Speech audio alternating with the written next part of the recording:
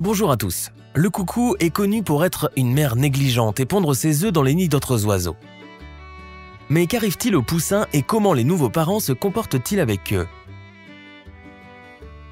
Devinent-ils qu'il ne s'agit pas de leur progéniture et acceptent-ils le petit abandonné?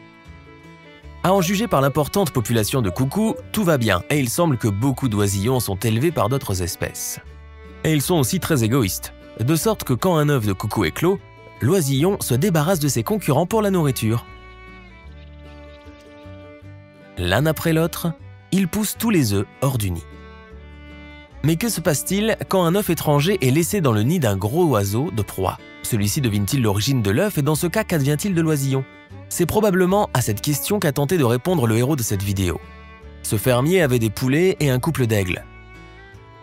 La femelle du couple a pondu deux œufs, mais le propriétaire des oiseaux a pris l'un des œufs pour le remplacer par un œuf de poule. Et l'œuf d'aigle a été confié à une poule. Au début, les oiseaux n'ont pas remarqué la substitution et ont commencé à couver les œufs des autres. Mais lorsque les œufs ont éclos, le fermier a été surpris par le comportement des oiseaux. Comme dans une série télévisée brésilienne, la chantilly poule a accepté le petit étranger et a commencé à le nourrir comme elle la faisait avec ses propres poussins. L'instinct maternel de ces oiseaux est très fort et il n'est pas rare de voir une poule prendre soin des petits d'autres espèces. Mais les aigles, orgueilleux comme des aristocrates, ont immédiatement remarqué la substitution. Selon le propriétaire de l'oiseau, les aigles ont longtemps observé avec attention l'étranger dans leur nid et n'ont nourri que leur aiglon. L'histoire se termine par le retour de l'aiglon et du poussin dans leur nid respectif par le fermier. La poule n'a pas remarqué de changement ou peut-être bien qu'elles sont fichées. Mais les aigles ont immédiatement repris leurs petits sous leurs ailes et ont commencé à nourrir leur progéniture. Cette réaction des oiseaux a surpris le fermier et l'a fait réfléchir aux capacités intellectuelles des aigles. En effet, ce n'est pas sans raison que depuis longtemps les gens associent l'aigle avec l'intelligence, la fierté, la force et la puissance. C'est pour cette même raison que les Égyptiens représentaient avec une tête d'aigle rat le dieu soleil et le plus puissant dieu du panthéon, et que les Amérindiens gravaient sur leur totem des images de cet oiseau à côté de loups et d'ours, pour souligner la puissance de ces trois animaux.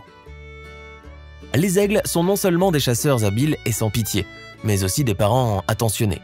C'est en couple qu'ils construisent ensemble des nids qu'ils utiliseront plus d'une saison. Une fois par an, la femelle pond ses œufs, généralement deux et plus rarement trois. Si beaucoup d'oiseaux observent une division des responsabilités parentales, c'est-à-dire que la mère reste à la maison pendant que le père va au travail et s'occupe de la nourriture, les aigles sont des promoteurs de l'égalité. Le mâle et la femelle se relaient pour couver les œufs et veiller ensemble à leur sécurité. Il est intéressant de noter que dès la naissance, les petits commencent à se battre entre eux pour la nourriture et obtenir l'attention des parents.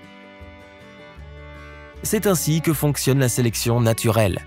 Les aiglons les plus faibles et les plus malades meurent des coups d'ailes et de bec de leurs frères et sœurs de sorte que dans notre histoire, le poussin n'avait aucune chance de survivre, et heureusement que le fermier a remis les oisillons à leurs familles respectives à temps. C'est tout pour aujourd'hui les amis. Écrivez dans les commentaires votre opinion et à bientôt.